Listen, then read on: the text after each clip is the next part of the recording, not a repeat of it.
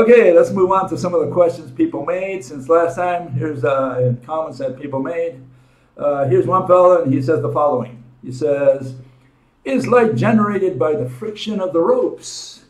And uh, it's not really the friction of the ropes. What, what you have there really is uh, torsion. You, you have the in situ torsion, and uh, uh, gives a, a little bump to each atom, the ones that are at each end of the rope. So both atoms receive constantly and simultaneously. You know, this little thump, this little torsion there where the threads um, uh, fork out and one becomes the electron shell and the other one becomes part of the proton dandelion, as we call it. Okay? So uh, the threads make up the atoms, and the atoms uh, on the other side, you have the threads come out again and turn into a rope. And so the whole universe, all the atoms in the universe are physically connected. And what you have is then they're doing their quantum jump, they're pumping back and forth what the what Niels Bohr thought was a little bead going back and forth between energy levels or orbitals. Uh, that's not what happens because you would have to explain why doesn't the bead fall completely negative bead, right? Fall completely into the positive proton, or why doesn't it spontaneously fly away? Why does it jump between energy levels. Why can we find it there? You know, and that's this explains it because it's a, really a membrane, not a little bead. It's a membrane that's pumping back and forth at great speeds, vibrating, moving around, and while it does so, it torques the rope. So it's not, uh, you know, it's it's torsion. It's not friction. Okay. Uh, is there a tiny friction when uh, the torque, the rope torques? I don't know. I, I think not. I would I would venture to say none. It's like if you have a rope, you torque it. I'm not sure there's any friction between the two threads, which is, I think, what he was referring to. Okay. Okay, here's uh, another fellow. He says, the following says, Bill, is the rope for light the same rope for gravity? Does gravity move at the speed of light? I'll answer the first, second question first. Now, gravity is instantaneous, you could say, which is the wrong word to use because instantaneous, there's no such thing as instantaneous uh, we either have one frame of the universal movie or we have two. And we have two, which is uh, what motion is about two frames, right? Two, two locations of every atom in the universe. Um, you can call it, that motion cannot be instantaneous because instantaneous really refers to what's in a single frame. So we cannot say that uh, gravity or anything is instantaneous. There, there cannot be. There's a contradiction in that term. We need to understand what we mean by instantaneous. And people think of that being motion that happens in a single frame. That cannot be possible. Mona Lisa needs two frames in order to smile, okay? Because smile is a verb, and verbs require two frames of the universal movie as a minimum, okay? And so the uh, we just say that gravity acts instantaneously. Why? Because it's location specific. Weight is location specific. You, you're out there, you have an astronaut out there in the middle of space, right? And he's got a certain weight at a certain distance from the Earth. Let's say uh, 100 miles, right? He's 100 miles from the Earth, from the center of the Earth, or more, let's just say a million miles from the center of the Earth, right? So he's very far away. All he has to do is move an inch, a millimeter forward, his weight already changes. Instantaneously, in that sense, in the sense that once he changes location, his, cha- his weight changes, gravity changes for that uh. Okay, in that sense, it's instantaneous. Location is instantaneous in the sense that once you move to another location, it's instantaneous once you're there.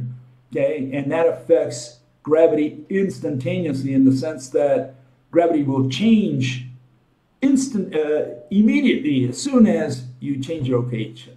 Okay, that's what we mean by instantaneous.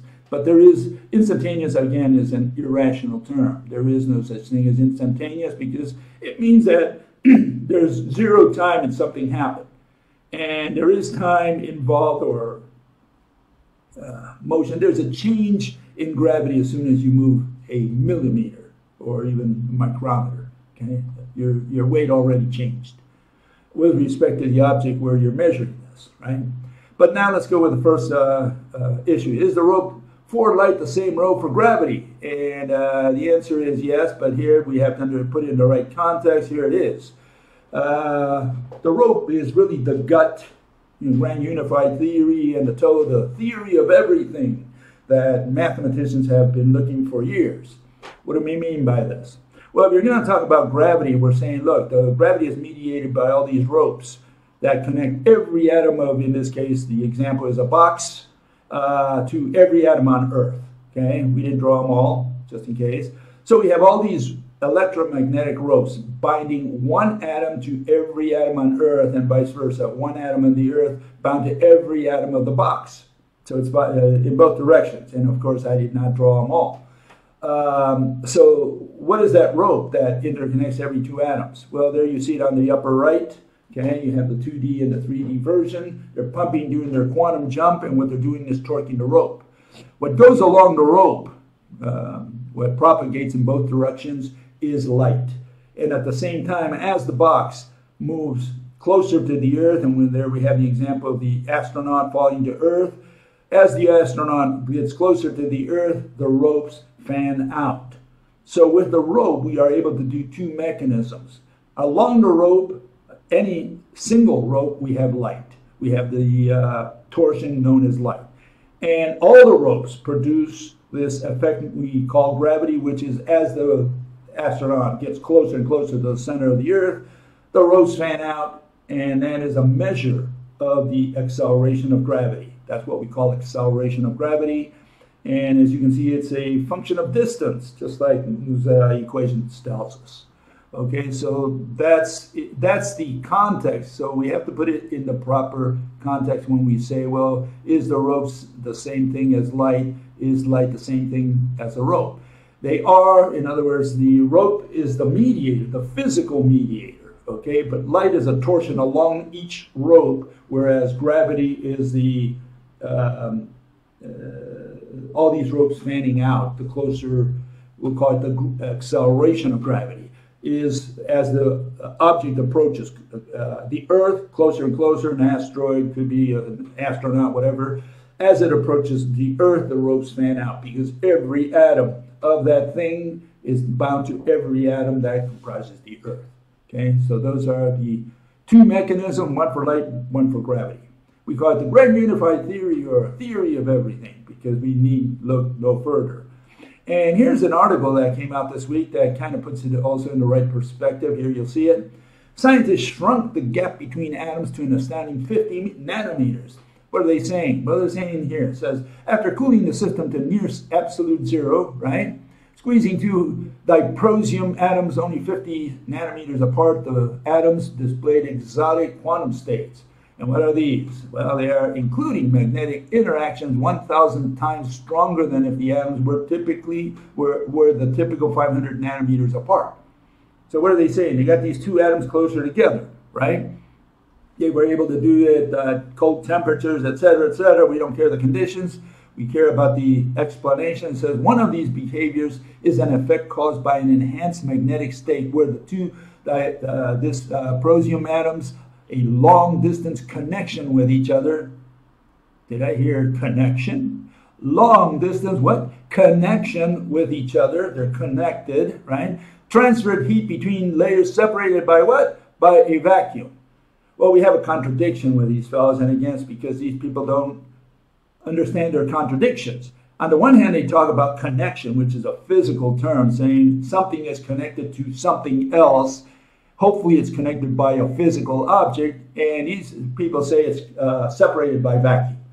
Well, we got a contradiction. Either there's a physical object we cannot see or touch between the two atoms, or we have absolute vacuum, there's nothing between the two atoms. Which one is it? Okay? And then continues, another side effect was collective oscillation, where the vibration of one layer caused the other layer to vibrate simultaneously. When the atoms separated from each other, both of these effects dissipated, right? So when they separate them, uh, they don't have that uh, fuzzy little um, uh, magnetic or field or whatever you want to call it, uh, acting between the two atoms.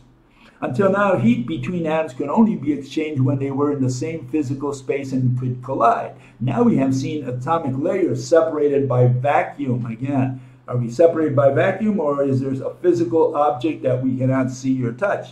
And they exchange heat via fluctuating magnetic fields. No, they can't do it uh, via magnetic fields because magnetic field is not a con- is a concept. It's not a physical object. You have to identify the object in physics. Otherwise, you cannot give a physical interpretation. And so, what's the issue? The issue is that these people are really developing technology. And they call developing technology, they call that science. That's where the problem is. No, science has nothing to do with technology. Absolutely nothing. Science is about explaining, technology is about developing gadgets. Okay? And uh, they're two different, uh, you can say, disciplines or activities. One has nothing to do with the other. Now, if you can develop technology because you have this insight, extra insight from science, more power to you. I'm just saying these two things are separate. Uh, technology is one thing and uh, science is another. What these people cannot do is explain. They are not scientists, they are technologists, they are mathematicians who want to do technology or develop technology for computing or for whatever. None of that has anything to do with physics or with science. Science, you need to explain. You need to tell me how it works, what the mechanism is. If you can't, you're not a scientist. That's how simple it is. And for that, we need to define what science is. Nobody has done so in the last 400 years, since the so called scientific revolution. Okay, here, another fellow says fields, forces, energies are physical. Well, for that, you need to define what physical is. Physical, that which has shape. That's what physical means. Okay? And field is a bunch of numbers, uh, so that's not anything that has shape. Force, uh, there's push or pull, two verbs. That doesn't have shape. Verbs don't have shape. And energy is defined as the capacity, blah, blah, blah, blah, blah. And the capacity is not a physical object. Okay? So none of these qualify as physical. Very straightforward, very simple. Okay? Hopefully anyone can understand that. Okay, here we have another fellow. He says the following. Since atoms attract each other due to magnetic influencing dipole induction, it's an electric phenomenon. Okay, so why should macroscopic attraction of the Earth be any different? Atoms are magnets because magnets are made from atoms. Uh-huh. Well, I don't know what monastery uh, this fellow studied in. All he's got to do is tell us, he says electricity or magnetism or whatever uh, fields uh, pull two atoms together. Well, we want him to give us a mechanism of how any of those does it. How does electricity pull those two atoms together? How does magnetism pull those two atoms together? That's all he's got to show us. You, you know, illustrate a mechanism. Show us how that atom, which is the atom they're using, if you got a different atom, more power to you, okay? Because that is an irrational atom. But that is the atom that is taught in schools all over the planet. It's the Bohr atom, Bohr Rutherford atom. We have the Bohr uh, Rutherford's proton and uh, Bohr's electron there, little bead jumping back and forth. That's that's the atom. And you, all you got to do is show us the mechanism of how atom, one atom attracts another. So once you can do that, you can show us how magnetism or electricity or whatever you believe uh, in uh, how it works, how, how it acts to get two atoms together. Only then can you talk about, you know, saying, okay, how does the sun attract the earth? Is it through electricity, through magnetism? First do two atoms, then we'll extrapolate that to, you know, bigger stuff like planets and other um, uh, celestial objects. Okay, so here we have another file. He says the following. He says uh, in lead dioxide, pH, uh, PbOH, uh, O2, I'm sorry, which is used as the active material to the uh, positive plate of the battery. The uh, lead atom is in the plus 4 oxidation state. This is because each oxygen atom has an oxidation state of minus 2. So balance the charges in the molecule. The lead atom must have an oxidation rate of plus 4 yeah, uh, what he's saying is that a lot of this just math, okay? And uh, with this math, they are able to uh, describe, not explain really, but describe what is happening during a reaction. In fact, this is just one reaction. You can apply uh, uh, this to any chemical reaction. Essentially, you have to balance what's on the left with what's on the right, okay, on the other side of the green arrow there. Okay, But it's important to note that this doesn't mean that the lead atom is short of four electrons. Rather, it means that in the context of the molecule, the lead atom has effectively lost four electrons to the oxygen atoms. That's interesting because he says it doesn't mean the lead atom is short of four electrons, but then he says four electrons uh, are donated or go to the oxygen atoms. And again, this is why all these people do a lot of math, but they have no uh, explanation. They cannot illustrate what they're talking about because if the uh, electrons move, if they are lost to the oxygen atoms, then I don't know how he can say, on the other hand, that doesn't mean that the lead atom is short four electrons. What do you mean they're not? He just donated them. So again, it's it's uh, they have all these contradictions because they cannot illustrate what they're talking about. They cannot tell you what the mechanism is. That's the issue. In the context of the lead acid battery, the OH group does not exist freely, but is part of the water H2O and sulfuric acid H2SO4 molecules. During the battery's operation, these molecules participate in various reactions, but the OH group itself does not carry a charge of minus 4.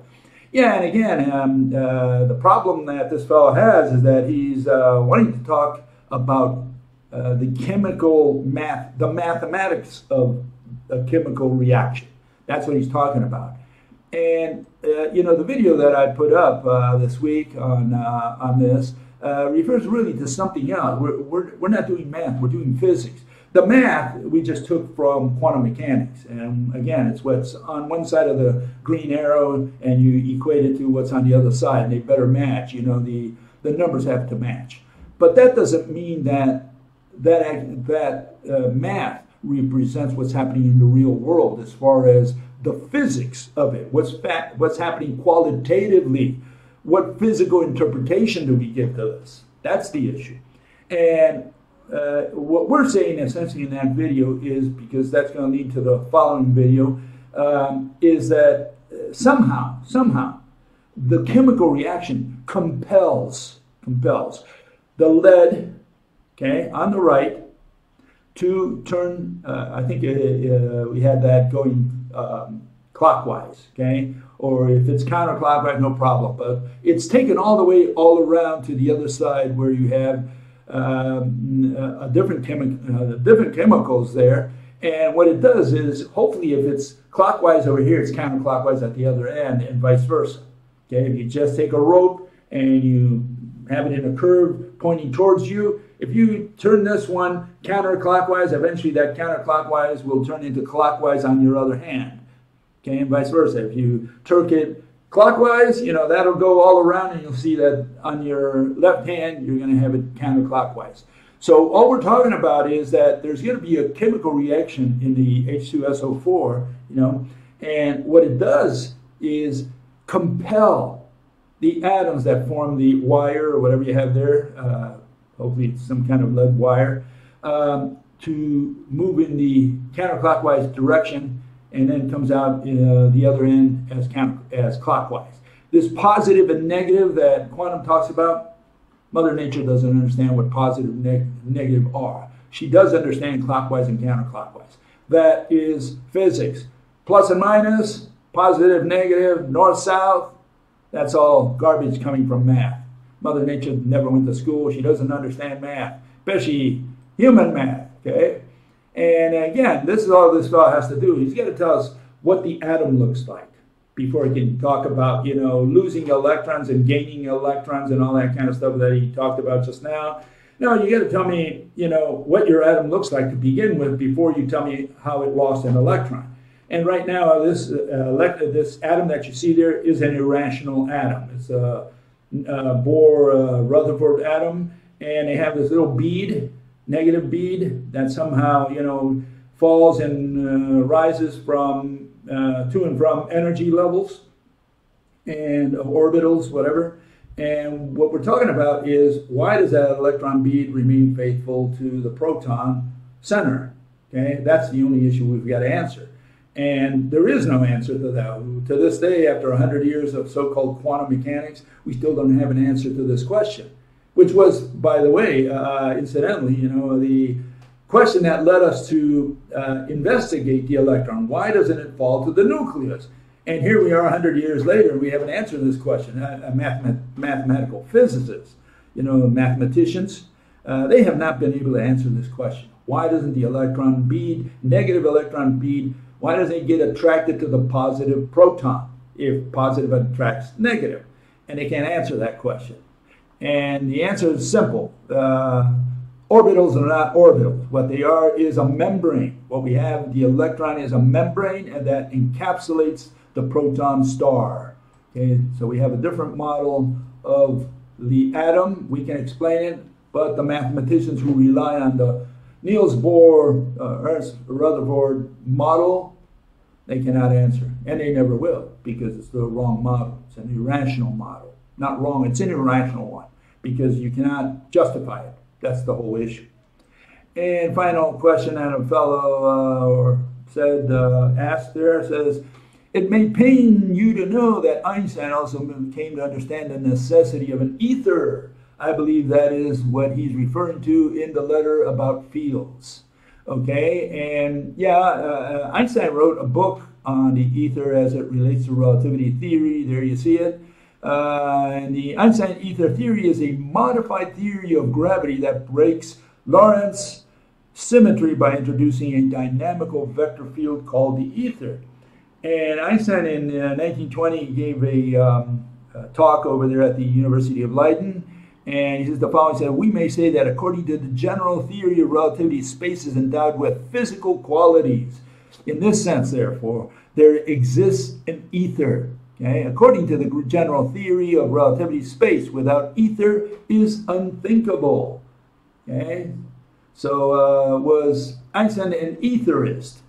Uh, well, he was. Remember, in the 19th century, they still hadn't uh, this, uh, you know, gotten rid of the ether.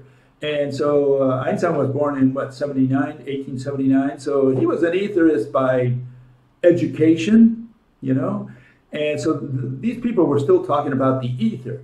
That was kind of this uh, displaced or replaced, you could say, uh, by space-time one, on the one hand and the false vacuum that uh, quantum mechanics has today, the, this so-called vacuum, both of them, both space-time and false vacuum, anything coming out of mathematical physics, physics is uh, ether. It's, these are all ether theories because ether simply means bunch of particles and they serve as a background. Some of them think of them as a uh, sandbox. All the things are fixed, you know, the grains are fixed. They're just sitting there. And others think of it as like an ocean or as air that these particles are moving around. So there's these different notions of the ether, but they're all particles. Uh, you know, mathematical physics, since the days of the Greeks, has always been particles. That's the background, particles. And that's what the ether has been, and that's what it still is today. They talk about particles coming from space. What do you mean particles of uh, space? Are you saying that they're, first of all, are they round? If they're round, what's in the inter- interstices? So there is, so you have to tell me what's between, what separates one particle from the other. That's the first issue. The other one is, uh, you know, you have all these particles, so when they come in, whether it leaves a hole behind in space, a hole in space, a hole in nothing. If not, what is space? If space is, is space made of all these particles, uh, if it is, when you pull one into the real world, you know, virtual particle for a split second, did it leave a hole behind?